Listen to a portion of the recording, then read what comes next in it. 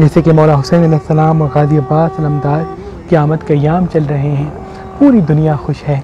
तो इसी खुशी को बरकरार रखने के लिए हम निचला तबका जहाँ जहाँ रहता है, वहाँ राशन और आटा न्याज की सूरत में तकसीम कर रहे हैं। यानी मौला हुसैन सलाम का न्याज और गाजी अब्बास अलमदार का न्याज मुख्तलिफ़ गाँव देहात में तकसीम कर रहे हैं। ताकि इन मुबारक रातों में हमारा निचला तबका भी मौला हुसैन सलाम और गाजी अब्बास अलमदार का न्याज पेट भर के खा सके। क्योंकि गरीबों की तो ईद यही होती है कि वो जब पेट भर के खाना खाते हैं तो वही रात उनकी ईद की होती है।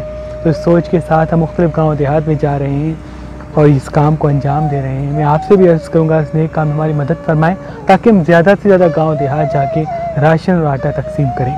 ए अल्लाह, तुझे वास्ता है अपने महबूब का, जिनके ताउन से हम ये नए काम अंजाम दे रहे हैं। उनकी तमाम दुआएँ अपने दरबार में कबूल और मकबूल फरमा। और जो हमें देख रहे हैं, उनको भी हर गम से महफूज रख। मैं आपसे भी अर्ज़ करूँगा अपने अज़ीज़ वकार में ज़रूर देखें जो जो लोग मुस्तक हैं उनकी मदद करें। अल्लाह